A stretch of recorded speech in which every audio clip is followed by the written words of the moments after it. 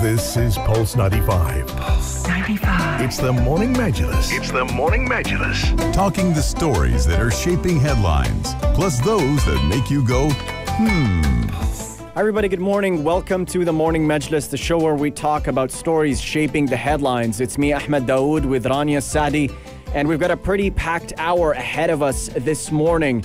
Uh, first things first, we're going to interview Faisal Al Nabodah, General Coordinator of the Sharjah International Book Fair's Publishers Conference, and we're going to talk about the book and publishing industry amid COVID 19, how it's adapted so far, and what initiatives were launched by the Sharjah Book Authority to help mitigate the impacts of COVID 19. So that's going to be a pretty interesting discussion lined up for today's show.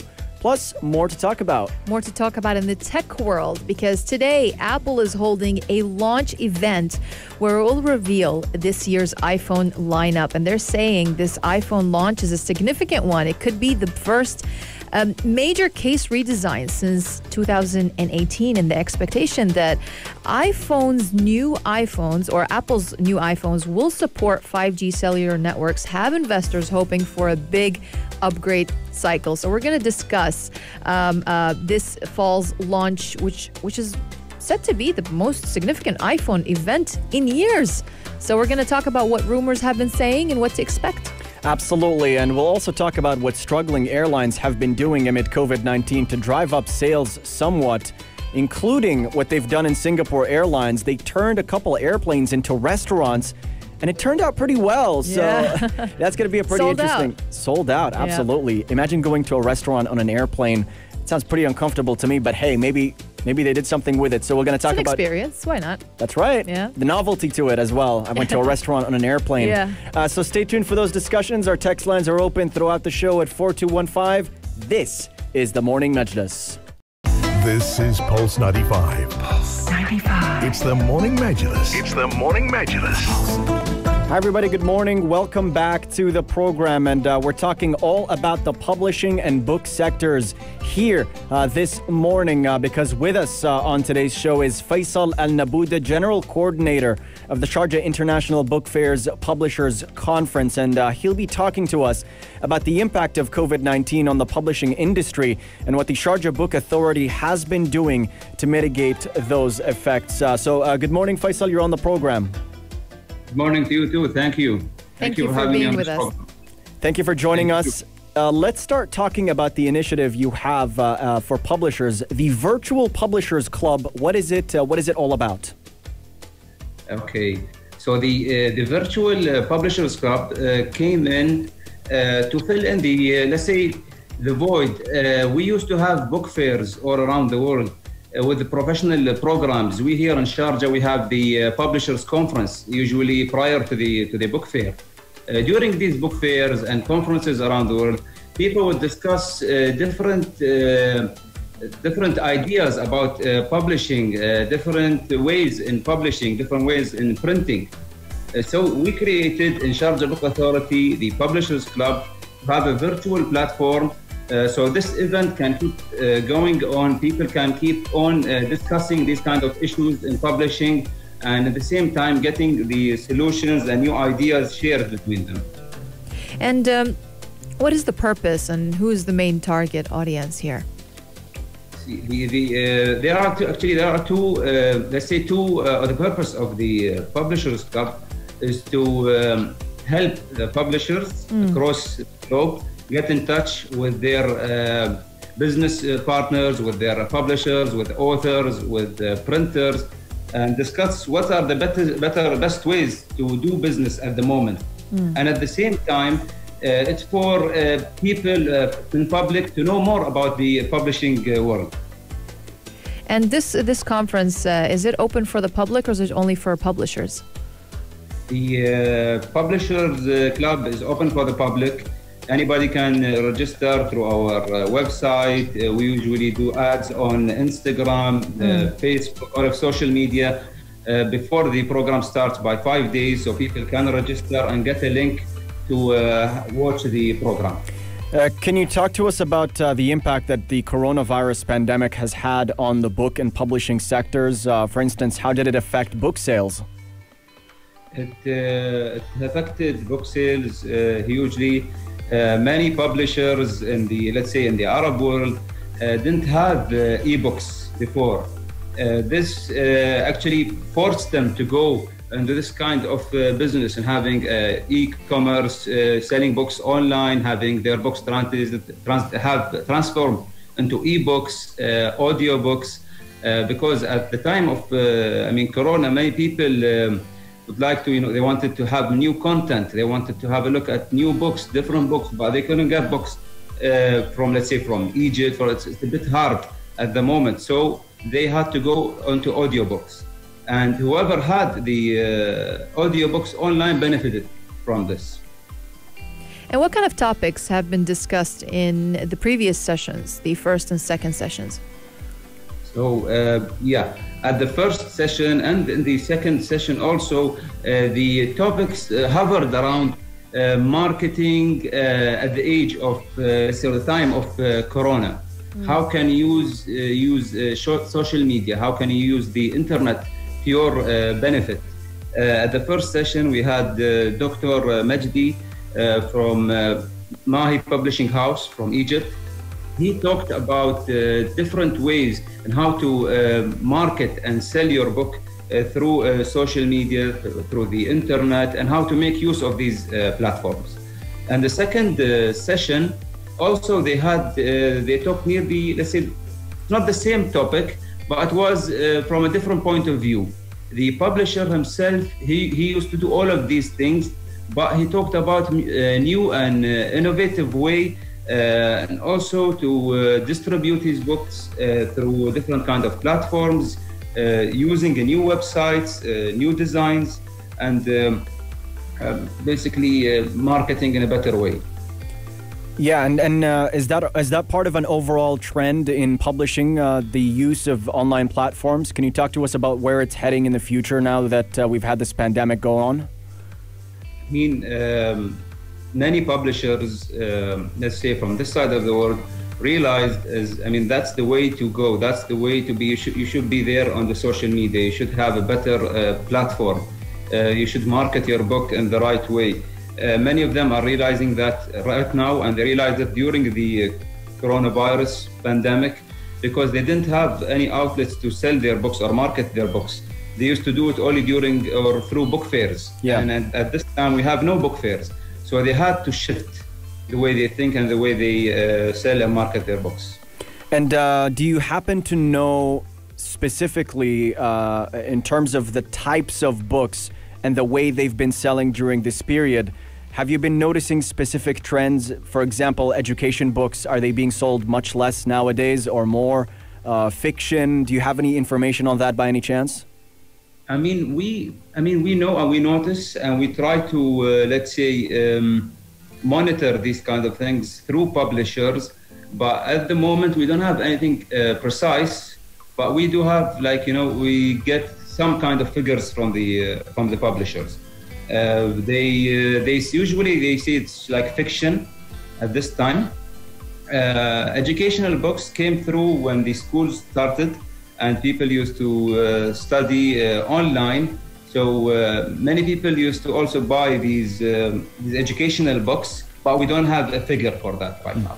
And as far as the prospect of seeing this uh, industry recover, um, are you more optimistic about this taking place uh, within the end of this year? What, what, what, are the, the prospects here for the recovery for the publishing sector now that we've been through this uh, pandemic?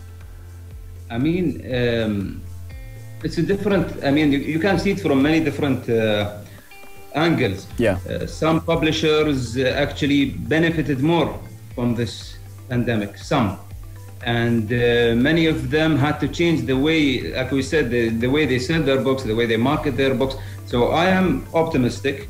Um, let's say until the end of the year. Uh, also, we have now in, in November Sharjah International uh, Book Fair going on and we have the publishers conference.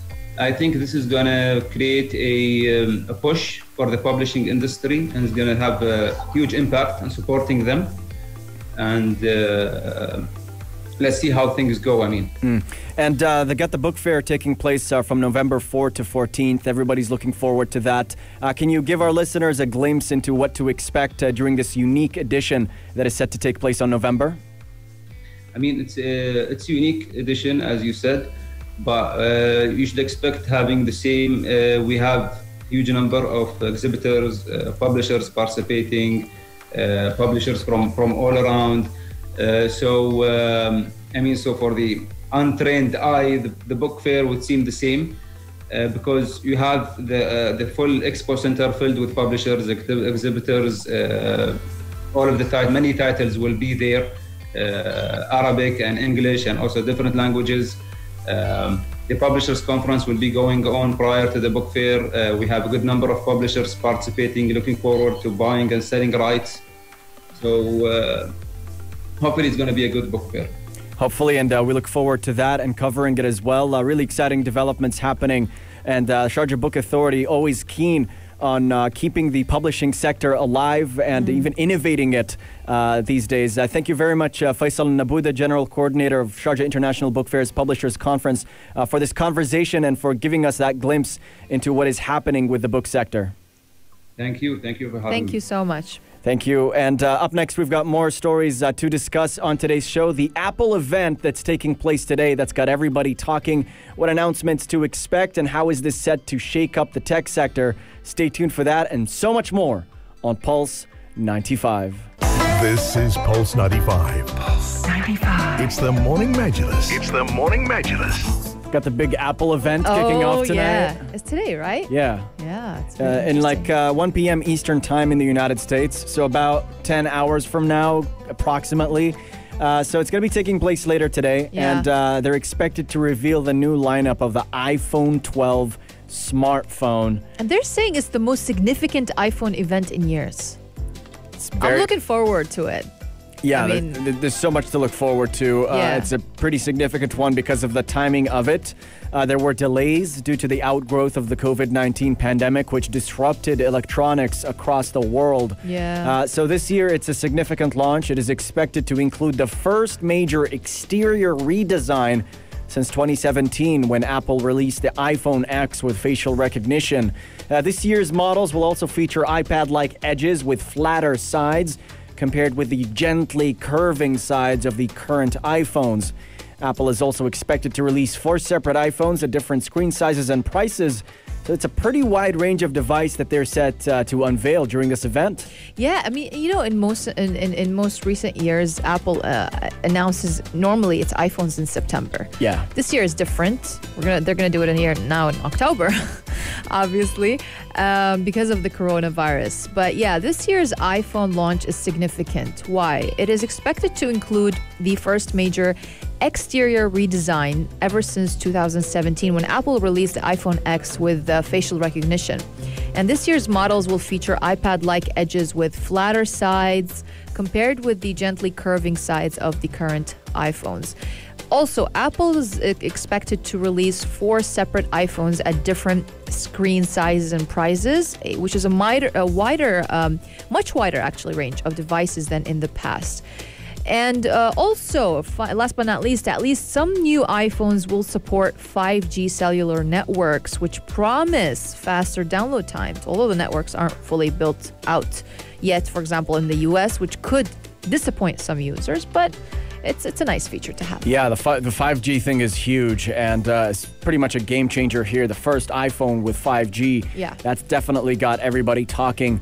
Uh, and this is uh, pretty notable as well to investors uh, who are uh, uh, shareholders of Apple's. I mean, the fact that this is uh, one of the few big changes that Apple's uh, committing to. The last time Apple made such huge changes to an iPhone was back- 2014, right? yeah, it was Yeah. 2014 when the iPhone 6 came out. Yeah. Uh, that's when they had the bigger screens going on, the different sizes. And this prompted what Apple calls a major upgrade cycle, a super cycle, with over 231 million iPhones sold over the next four quarters. So this is a pretty big game changer. This new upgrade cycle that the iPhones are going through is set to make Apple an even more valuable company, according to analysts. I want to ask you a question. It has probably nothing to do with the, the new uh, event, but I just remembered I, I I own a I still own an iPhone 6. And the first iPhone that I ever uh, owned was an iPhone 4, and then a 6, and then an 8. I don't know what happened to the 4, but I know that I still have the 6, even though I don't use it, but I still have it. And um, the 8 I, I use right now. Um, but I want to ask you do you throw away your old phones? Not at all. I'm What a phone you- hoarder. What do you do with it? I just keep them somewhere. I try to back up the memory into Yeah. another device, but I keep the phone for memory's sake. And you never know. Sometimes you go through emergencies. Yeah. You lose your phone, it breaks down. Hey, I got another phone on deck. Maybe I could use that. So So, how many phones do you have uh, stashed? currently, uh, I'm, I'm stashing my 5S. I'll never let go of that phone. I think that's. 5S? Yes, the iPhone. That's the pinnacle of, Oh. of design. I feel it's this Yeah, nice, it's true, it's small true, yeah. uh, iPhone, and it's got this jagged square design that I like so much. And it's Yeah. it's one of the last lighter, smaller Apple iPhones because they've been getting bigger and bigger. And uh, my hands are pretty small, so I'd like my phone to be as small as well. But uh, there you have it. I just want. I, I love looking back at my old phones because I have all those embarrassing photos of me when I was younger. and the text messages, and then you just like look at all the text messages and how you used to talk to people Oh, and what yeah. you looked like. It just makes you feel like you were so naive and you're more of a devil now. There's something so know? yeah, it's pretty sweet. Like there's something so life affirming about looking at stuff you had done years Yeah, ago. And- nostalgia. And, a phone really is as just a conduit to your brain and mind at a particular period in time. Yeah. The places you went to, the friends you hung out with, the thoughts you had in your notes. And you have it all in one device and you go through and it's like a time capsule. And it's you're a just like, beautiful whatever feeling. happened? Whatever happened to that person? you know, like so many people in your old phone that are not in your life anymore. Like, whatever happened to that person? So Yeah. you remember them again, and yeah, nostalgia comes back. But yeah, um, I want to ask the listeners: Do you guys uh, keep keep hold to your old phones? Or do you throw them away? Or what do you do with them really? So just to, do text us in at 4215. I really want to know. I'm curious to know uh, what you guys do with your old phones and what phones did you own before and what have you done with it? Do you throw it away? Do you give it to someone? Do you sell it? Do you keep it? So do text us in at 4215 to get involved and um, keep us informed. Keep us informed. Ronnie and I, we're the same. We hold on to our memories. Yeah. It's I pretty love, good to do I that. love memories. Yep, absolutely. So do we. well, up next, uh, we've got more discussions lined up on today's program. We're going to talk about the airplane that's been turned into a restaurant. Why are airliners doing this? Is that going to be the new trend as airliners struggle with COVID 19? Stay tuned for more right here on Pulse 95. This is Pulse 95. Pulse 95. It's the Morning Majlis. It's the Morning Majlis. Singapore Airlines, they're doing something really interesting with their grounded airplanes. They've turned a couple A380 airplanes into fine dining restaurants, and they've been doing very well. Yeah, and according to Bloomberg reports that all seats at the restaurant sold out within 30 minutes of booking uh, opening as people rushed to recapture the excitement of balancing a tiny meal on a plane, basically. Uh, yeah, so Singapore Airlines is actually selling four different tiers of um, meals, according to Bloomberg, ranging from a meal in a suite for around $474. Can you imagine? Oh, goodness. That's like a price of two tickets together, right down to an economy experience for the equivalent of $39. Around um, Around half the plane's uh, seats will be available for dining to allow for social distancing, of course. But yeah, Singapore Airlines is launching the dining experiences as earnings have plunged thanks to the pandemic. Back in July, the company reported a net loss of over 1 billion Singaporean dollars. That's about 825 million uh, American dollars in the quarter ending of June 30th. And at the end of September, it said it was also exploring other ways of making money, as well as obviously what, what are we talking about right now? Turning airplanes into restaurants. Turning airplanes into restaurants, and uh, it's pretty interesting as well. I mean, people do people like airplane food? I guess people who miss that would enjoy this. Depends on what airlines Yeah. we're dealing with. There are whole like websites dedicated to people reviewing airplane food. I I'm not find to bash pretty any airlines. There are some airlines that I don't like their food at all, and there's some that I actually fancy. It's nice when they have a regional twist. So if an airline's from a particular country, they serve you their local dishes and stuff. It Yeah. really really takes your mind off things when you're on top of an airplane instead of watching the same movies over and over again on these Hmm. crappy headphones they give you. Uh, but other things uh, are happening uh, as, as far as uh, airliners and what they're doing with their jets during this difficult time where travel restrictions are imposed all around the world. We've seen, for instance, uh, Qantas uh, offering these scenic flights to nowhere in particular. So uh, these Australian airline flights would take off from the airport and go back there. But they would take you on a tour, uh, showing you all these different locations, these yeah, oceans. yeah, yeah. I heard about that. Yeah. Yeah, so I mean that's a pretty neat Uh, to, idea. like to nowhere, right? Yeah, the flight to nowhere. Unknown- pretty unknown much, destination. Pretty much. Yeah. Uh, and just ways that airlines are trying to seek revenue during this time, and that's essentially what Singapore They're running out Airlines of are doing. They're trying to get some money. You know, their airplanes are sitting by. What are they going to do with those? Yeah. Well, I googled actually the weirdest restaurants in the world because we're talking about restaurants right now. Yeah. And um, they have this idea on the airplane, but the weird. I was looking through the uh, the the uh, the list of the weirdest restaurants, or the restaurant I the, the ideas that they have, and in Taiwan apparently they have this restaurant. Uh, what is it called? It's called the weird. Uh, Toilet. It's a bathroom. toilet? It's a, yeah, it's a toilet restaurant or something Goodness. and uh, it's just Is it an it's actual- embarrassing. It's embarrassing to even talk about it. But Uh, I'm um, looking at it now. you're looking at the picture right? Yeah. so it's it's basically uh, there's a toilet in front of you. Uh, it looks like a toilet. It's not Yeah, a real not a- toilet. yeah, it's, A, it's a mini um, kind of sculpted toilet shaped plate.